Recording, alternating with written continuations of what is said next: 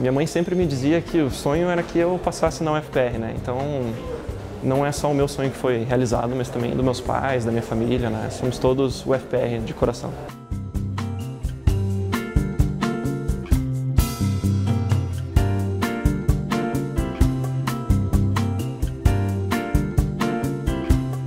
Eu sempre tinha em mente que seria um objetivo da vida concluir uma graduação na, na instituição.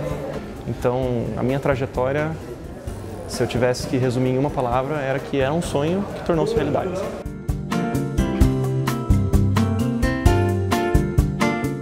Ter aula é algo que eu gosto muito.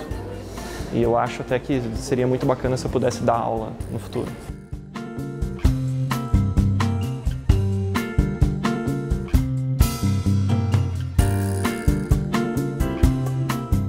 UFPR, 105 anos de orgulho.